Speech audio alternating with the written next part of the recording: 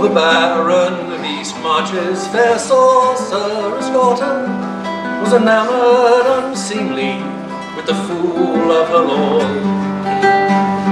Though the Duke was deemed clever, he was so vain and petty, and a dark mind as empty as last summer's gourd.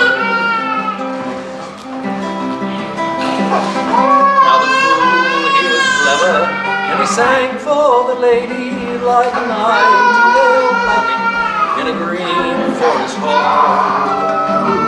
But his station was lowly, and his body was aging, and their love was as hopeless as if he was young.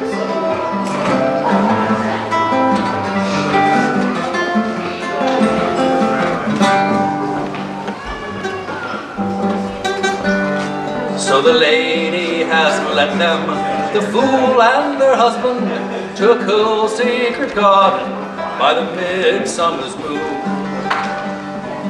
And she's danced them a spell there of shifting and changing, and left them dumbfounded by sorcery's moon.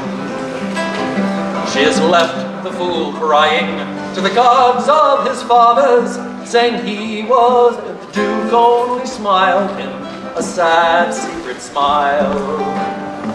Now the Duke rules his people with wit and good humor, and he sings for his lady like the nightingale song. And she's borne him five children, two sons and three daughters. They've grown straight and handsome, sorcerers all. And they dance in the garden and sing in the moonlight like a nightingale's piping in a green forest hall.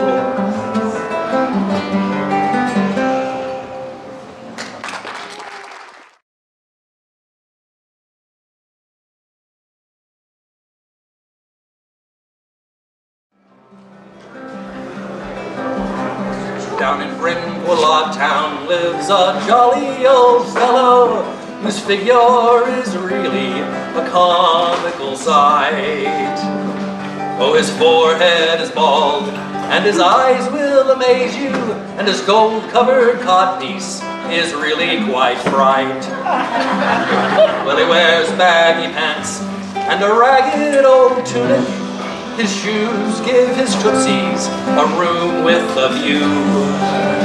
And he acts very silly, and he does antler dances, and answers when summoned by the name Master Moo.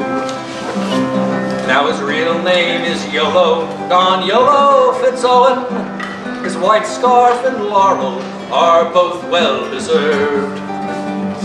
For he'll build you a crossbow like those in museums, or thrash you at rapier without reserve.